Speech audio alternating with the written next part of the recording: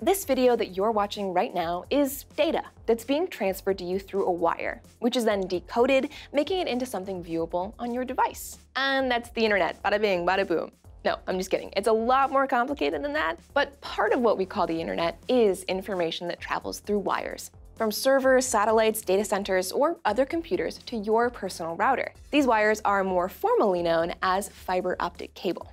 And did you notice the important part of that name, fiber optic cable? That's because all that data, the information being transferred to you as you request it from your web browser on your desktop or the banking app on your phone, physically travels through the wires in the form of light. Pulses of light are sent from the data's point of origin through the cable. Photons bouncing around inside that cable travel to the other end, where there's some kind of receiver, like a photodiode or a photoelectric cell. And this device is what translates those packets of light in their given pattern back into electrical information that your computer can then understand and present to you as the information you asked for, like a web page. That's crazy, right? Well, it's about to get even crazier. New research has just demonstrated the feasibility of the world's first nanophotonic device. See, in most standard systems, we currently only use a fraction of light's capacity to transmit data. And this is because we haven't previously had the technology to decode anything else. But new efforts are making use of light beyond the visible spectrum, like ultraviolet waves.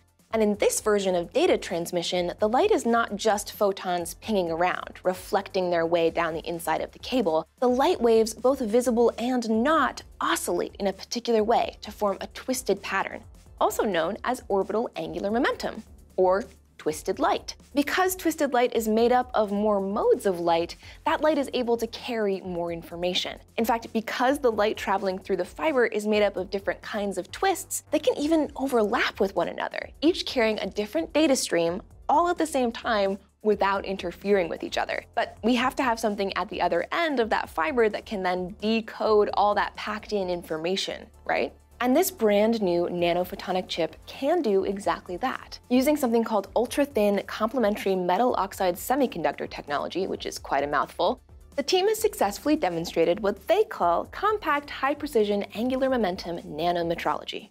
Man, that vocab is something else. I liked it when we were just calling it twisted light. Basically, the technology we used to have to decode even a smidgen of that twisted light data was the size of a table and now it's the size of an ultra-thin wafer that fits onto the end of an optical fiber, bringing us a little closer to the use of twisted light in the real world. Because the thing is, we don't just use fiber optic cable for accessing the bountiful power of the internet, we also now use it to carry our phone conversations, to broadcast TV, and even in medical applications to measure vital patient statistics like cell pH or the presence of medicine or toxins in the bloodstream, vastly enhancing the amount of data that can be sent through fiber optic cable, and then importantly processed and translated at never before seen speeds and in a usable way, could transform our whole informational world. Chances are, though, this won't be used to bring the consumer that much more computing power. It's more applicable in cases like finding better ways to communicate with vehicles in space, or potentially providing a way for us to process and use the information that would hypothetically come from quantum computers, which would be leaps away from the complexity and size of the data that we work with in our current computing systems. What can we say? The future looks bright, twisted bright.